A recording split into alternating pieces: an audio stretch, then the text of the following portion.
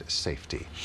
Well, new tonight, more people are turning to psychics to try to solve their problems. And you can even learn to see the future yourself. Tonight, CBS 2 explores psychic therapy.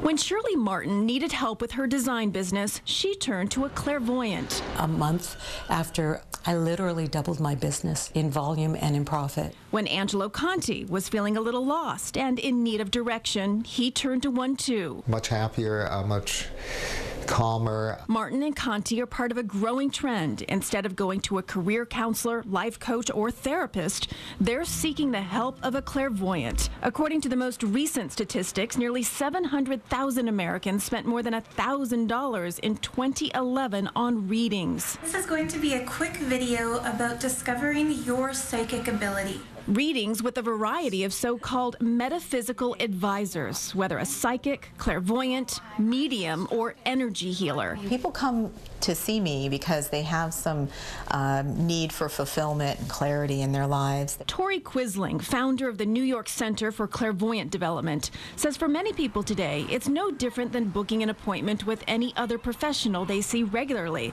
like a personal trainer or a nutritionist. I have so many people that have done amazing things that were only just in their dreams. Quisling doesn't read palms, use a crystal ball, or tarot cards. Being clairvoyant means that I can see uh, into the energetic uh, field around you. It's called your aura and it comes across as uh, mental image pictures. Those pictures, says Quisling, show her what's going on in her clients' lives. If your commitments and things you're giving your energy to are in alignment with what's in your heart. Both Martin and Conti say Quisling helped boost their confidence and show them how to take control of their own futures.